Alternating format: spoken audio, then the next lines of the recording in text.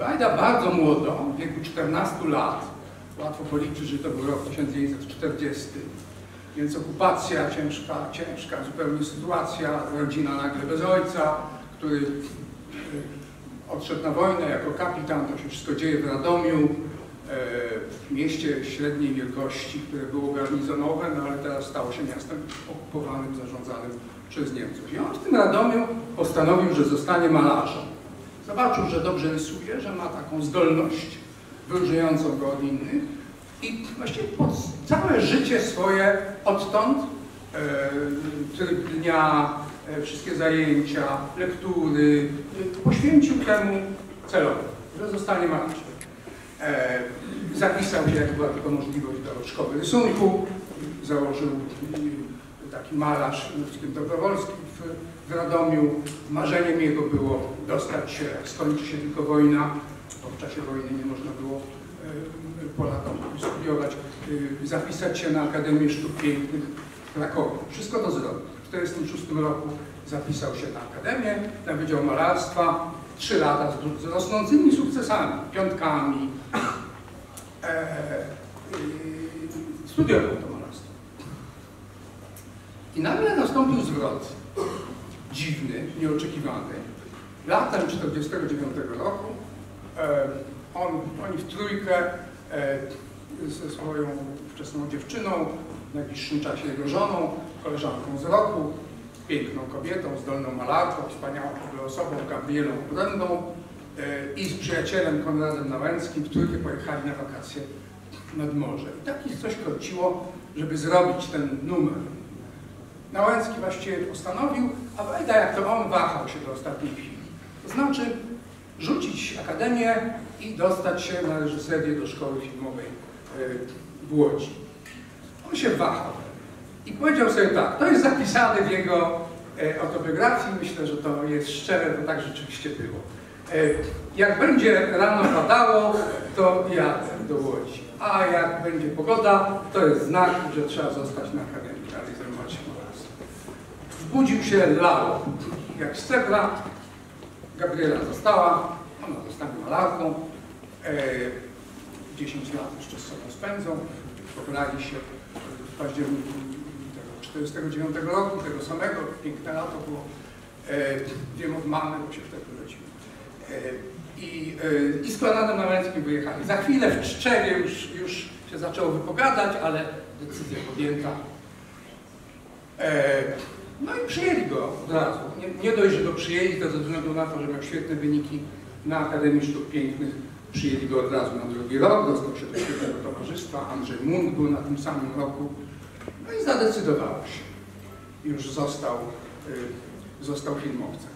Tajemniczy punkt w jego biografii, bo teoretycznie nic na to nie wskazywało. Nie był kinomanem, nie był jakimś specjalnym miłośnikiem kina. Y, parę filmów zrobiło na nim wrażenie. Y, nie było wtedy takiego pojęcia być artystą kina. Może Chaplin przed wojną, może Leclerc, może Buñuel. W Polsce w ogóle coś takiego nie funkcjonowało. Nawet jak był świetny reżyser Aleksander Ford, to się zwracano do niego, panie pułkowniku. Ci, ci, którzy mu podlegali, a znajomi panie Aleksandrze, nie kojarzył się z byciem y, artystą.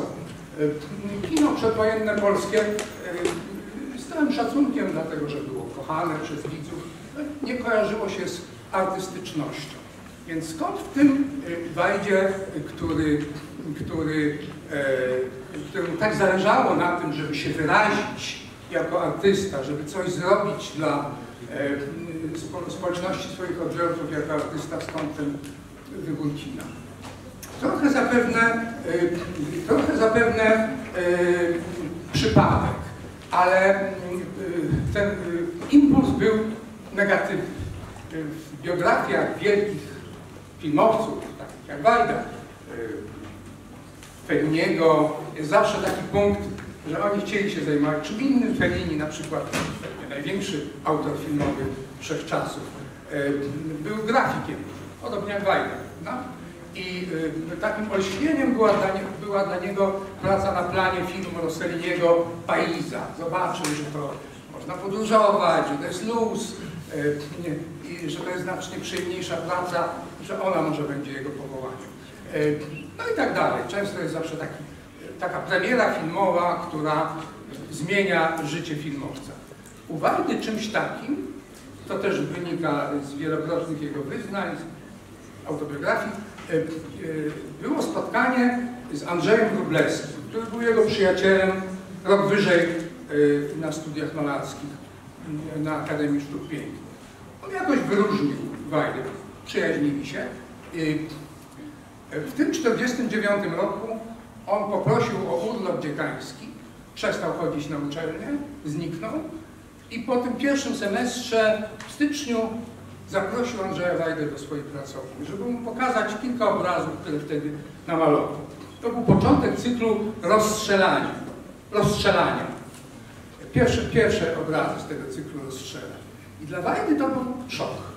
Dlatego, że zobaczył człowieka naprawdę uzdolnionego i stworzonego do tego czegoś. On sam, zrozumiał to, malował y, prace zlecone przez profesorów, y, y, tradycyjne ćwiczenia młodego adepta, najpierw krajobrazy swojego miasta, w duchu koloryzmu, wzorował się na Czapskim, potem to, co podpowiadali mu profesorowie, martwe natury i tak dalej.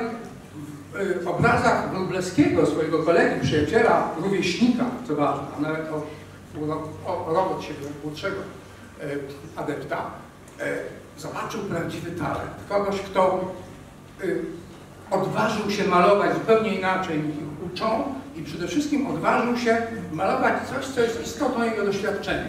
Doświadczenie śmierci, które, z którym się człowiek zderza we wczesnej młodości, nie potrafiąc sobie z tym poradzić. On tak niesamowicie namalował tych zabijanych ludzi, zabijanych jakby na naszych oczach, że dla Wajdy to był szok, zrozumiał, że malarstwo nie jest dla niego, bo on, żeby nie wiem jak długo siedział na, w pracowni, na to by nie wpadł. Poczuł, że on potrzebuje innych ludzi, kolektywu, to co mówiłem o tych y, kasetach. On był geniuszem współpracy. E, on poczuł, że musi mieć sztukę, w której może się z kimś skonsultować, może się kogoś poradzić, może kogoś wybrać.